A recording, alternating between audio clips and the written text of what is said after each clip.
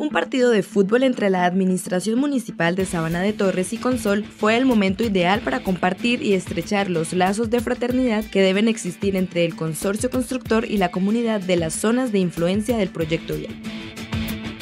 Quisimos hacer esta integración como para eh, terminar de tener los lazos de amistad con ellos, pues vamos a estar trabajando durante prácticamente casi dos años y la idea es poder llevar como como que, como tener una buena sintonía y tener una buena relación con ellos.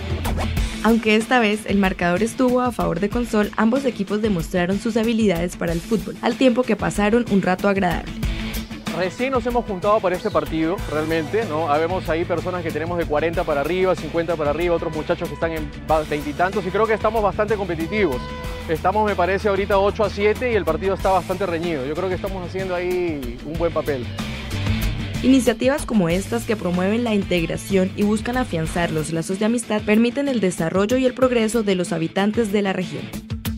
Consideramos que este tipo de espacios diferentes al tema laboral, al tema de la construcción de la vía, pues genera lazos de confianza, eh, un relacionamiento estrecho con las autoridades municipales, genera un entorno confiable para la generación de las diferentes actividades que nosotros deseamos, desarrollar en la zona. Por supuesto, siempre eh, contando con la participación y de manera articulada de la Administración Municipal de Sabana de Torres. De esta forma, Consol y la concesionaria Ruta del Sol cumplen con la tarea de informar, comunicar y socializar permanentemente con las comunidades, líderes, gremios y autoridades durante la construcción de la doble calzada de la Ruta del Sol sector 2.